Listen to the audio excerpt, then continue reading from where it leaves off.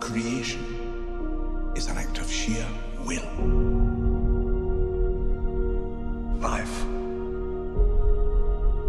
will find a way.